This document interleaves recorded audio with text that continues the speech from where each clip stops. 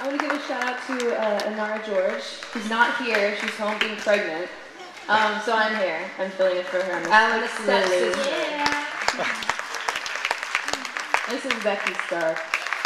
You guys know her.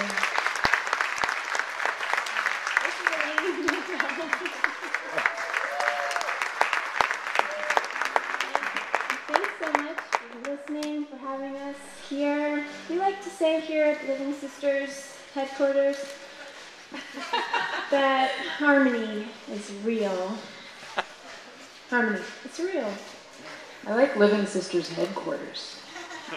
Yeah. Sounds important. it does. Okay, this next song goes out to all you people in Los Angeles. This song is for Los Angeles, the best city in the world.